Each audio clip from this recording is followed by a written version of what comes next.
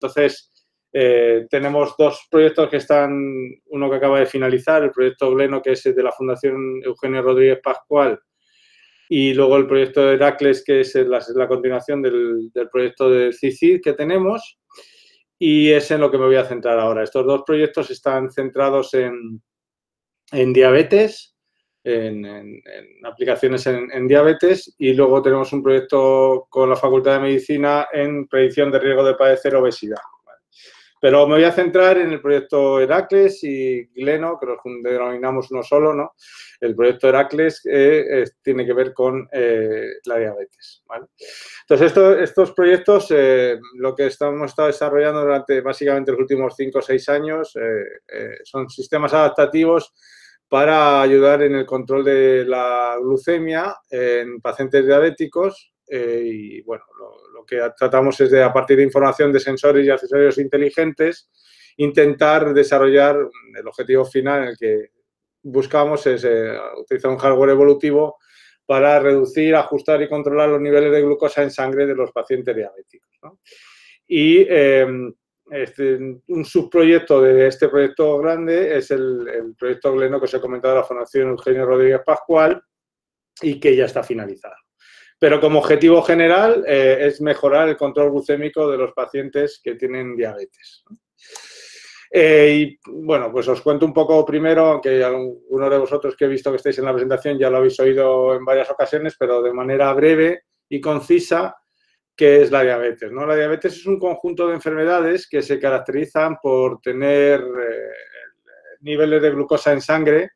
eh, elevados como consecuencia del páncreas o de la incapacidad del páncreas para producir insulina o bien de, de, producir insulina o bien de producir insulina de calidad o que funcione correctamente eh, en, el, cuerpo humano. La diabetes es una enfermedad muy importante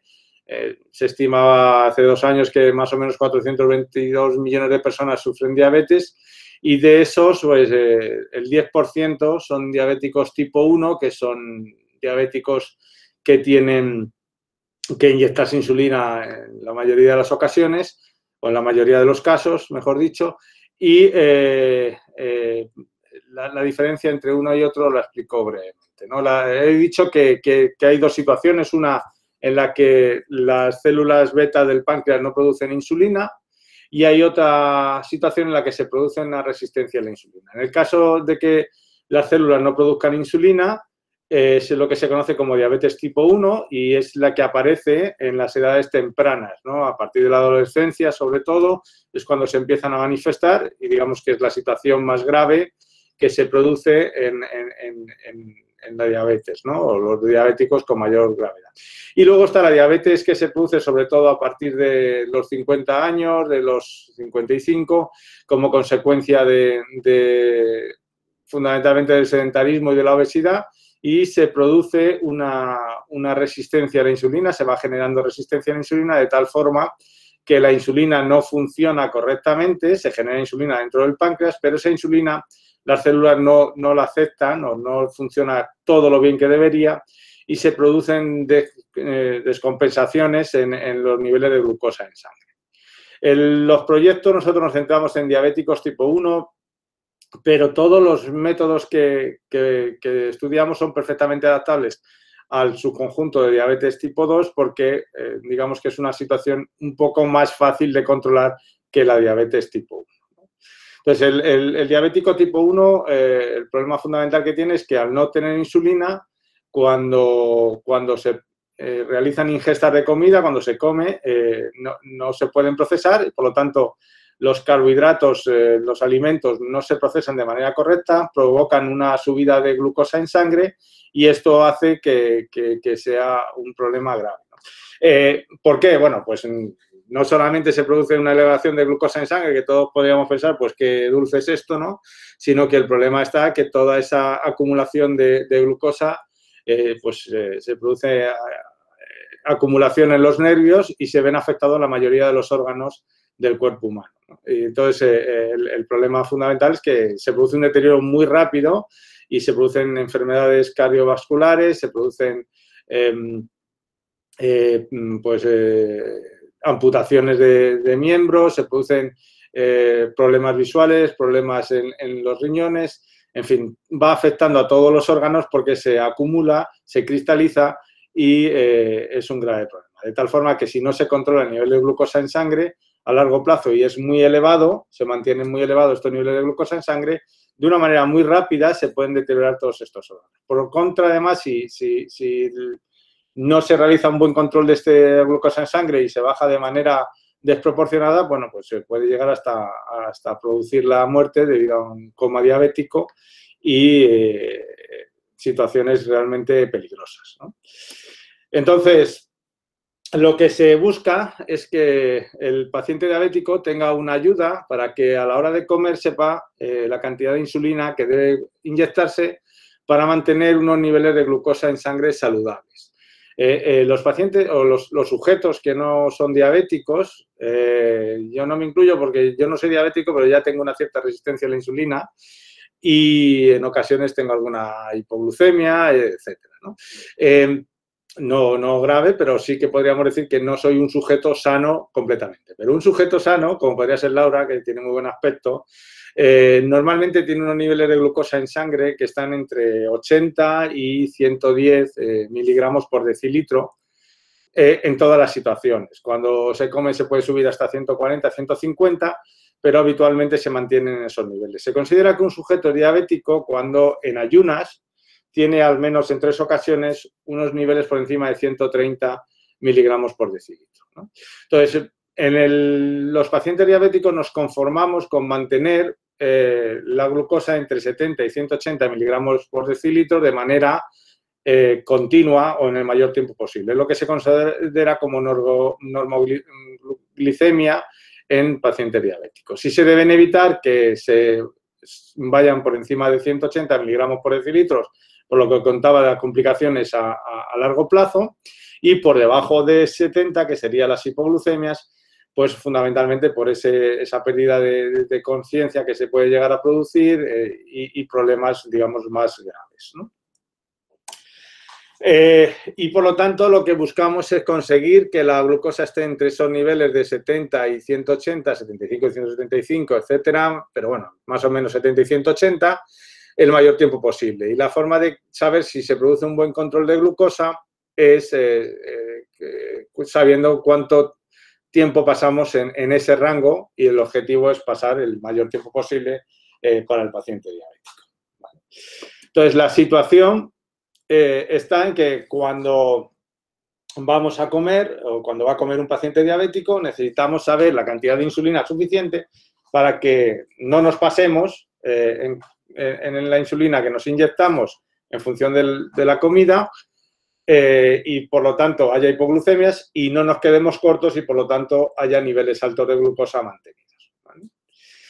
Entonces, lo que nosotros queremos hacer o lo que nosotros llevamos haciendo ya durante los últimos años es el desarrollo de modelos predictivos para saber, en función de determinada información que recogemos, cuál es eh, el nivel de glucosa en sangre que se va a tener a unos determinados eh, valores de carbohidratos y de insulina. Y a partir de, digamos, una información histórica de estos niveles de glucosa que hemos tenido y de información que nos proporcionan dispositivos inteligentes, pues, eh, pues pulseras de actividad, otro tipo de información que podamos recoger, saber cuál es el nivel de glucosa en sangre que vamos a tener. Y el objetivo final es diseñar un prototipo en hardware de este dispositivo inteligente que pueda procesar en tiempo real toda la información suministrada por estos dispositivos y generar tanto la estimación de la glucosa para tomar eh, acciones y la predicción en caso de, producir, eh, de, hacer o realizar una ingesta de carbohidratos o una inyección de insulina o ambas, que suele ser lo habitual. No sé si hay alguna pregunta, alguna aclaración que queráis que os haga.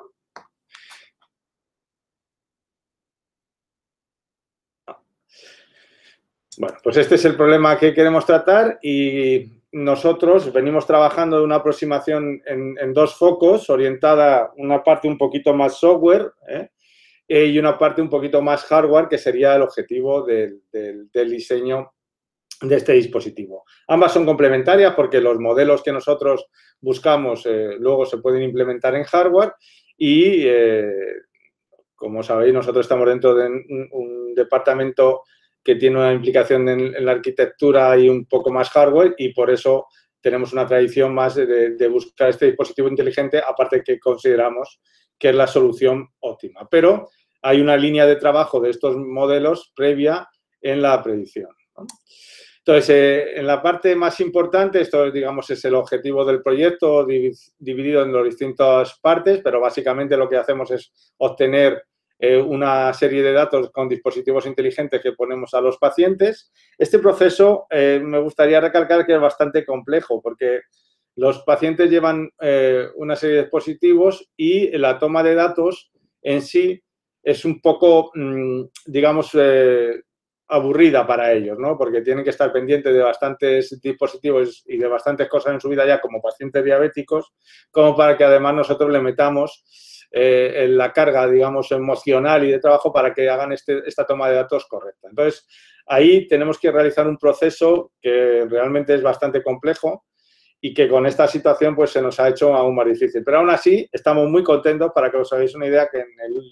en año y medio hemos conseguido obtener datos fiables de, pacientes, de 25 pacientes. Entonces, bueno, la, cosa no es tan sencilla como pudiera parecer de tener datos. Cuando se trabajan con datos sintéticos, pues sí, eh, es más o menos fácil producirlos, pero realmente los métodos probados con datos sintéticos luego no se adaptan también a datos reales porque cada paciente tiene una variabilidad glucémica muy importante. Entonces, ahora mismo donde estamos eh, en, este primer objetivo, digamos, más a nivel software, estamos bastante avanzados. Tenemos, pues, eh, estamos ya en el tercer año del proyecto, pero es, eh, heredamos de otro proyecto que duró otros tres años y, por lo tanto, son cinco años prácticamente lo que hoy venimos trabajando con estos modelos predictivos. Y lo que tenemos son, estamos trabajando en una implementación de sistemas de estimación y predicción basados en computación evolutiva y, aplicando distintas métodos, métodos perdón, de,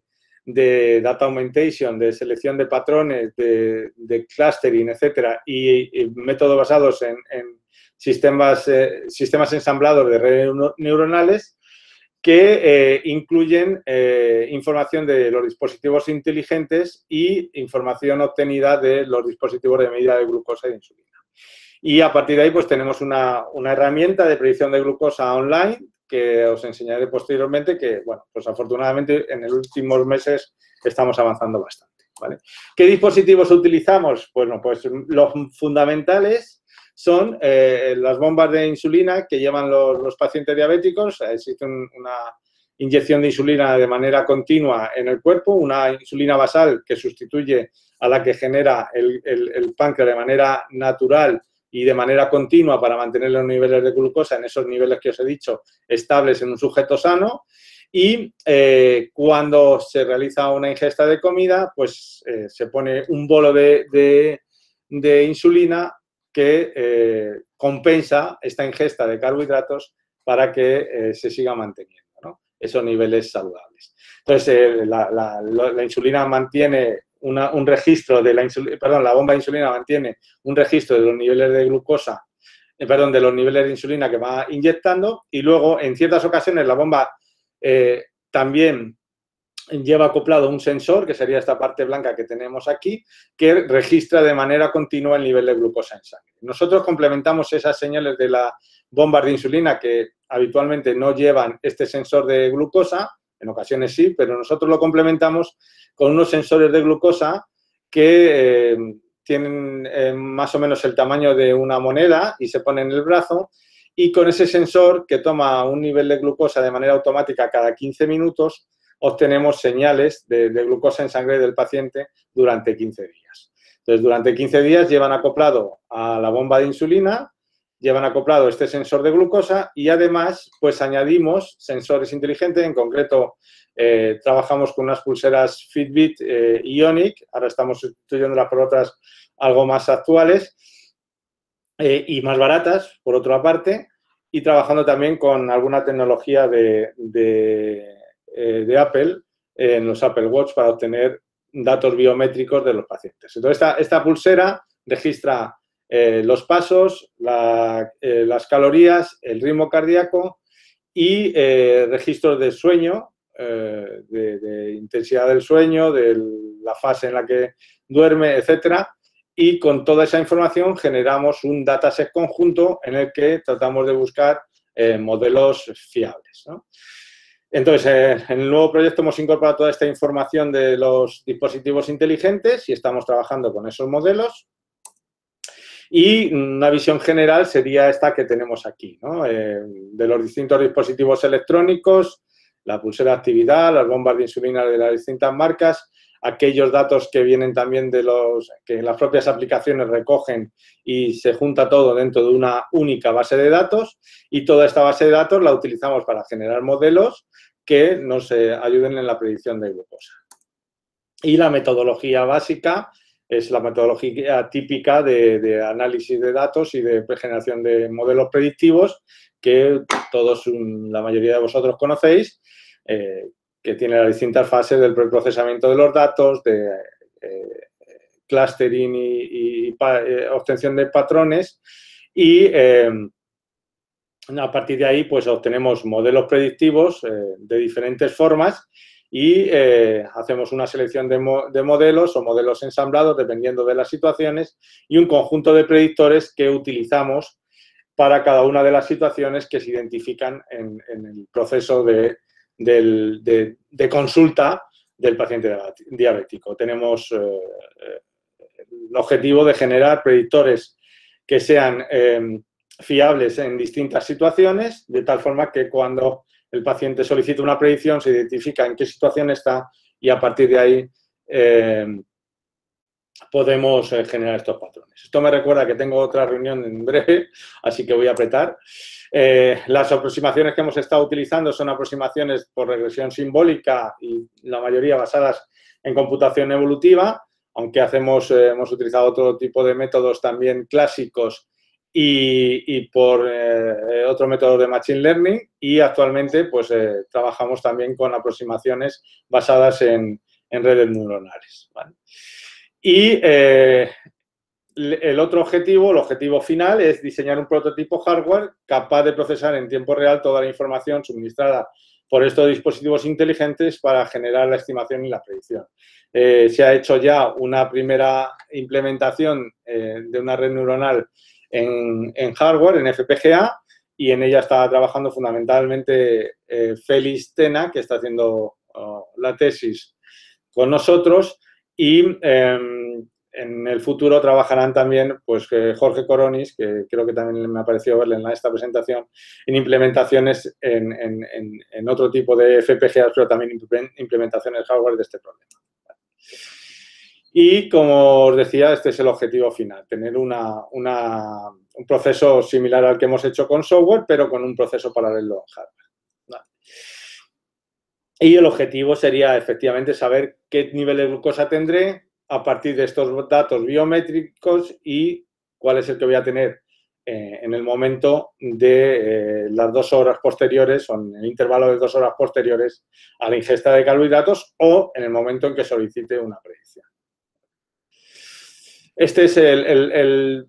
proyecto. Mm, el, objetivo es, no ha salido la figura, al pasarla aquí se me ha estropeado, pero bueno, básicamente sería tener un sistema implementado en hardware en el que a partir de una serie de eh, históricos de predicción eh, y de situaciones de patrones, seleccionemos el predictor más adecuado para producir la predicción más fiable.